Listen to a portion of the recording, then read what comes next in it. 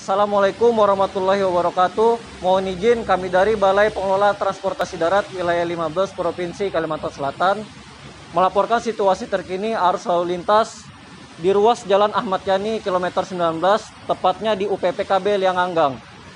Kota Banjarbaru pada tanggal 4 Mei 2022 1443 Hijriah H plus 1 Hari Raya Idul Fitri dapat kami sampaikan arus lalu lintas dari Banjarmasin menuju Banjarbaru dan sebaliknya saat ini terpantau ramai lancar yang didominasi oleh kendaraan roda 2 dan roda 4. Terjadi penurunan jumlah kendaraan roda 2 yang melintas pada jam 13.00 sampai 14.00. Cuaca pada hari ini hujan deras dan tidak ada kejadian menonjol yang dapat dilaporkan.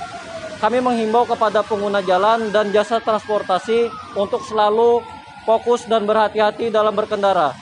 Demikian yang dapat kami laporkan. Terima kasih. Wassalamualaikum warahmatullahi wabarakatuh.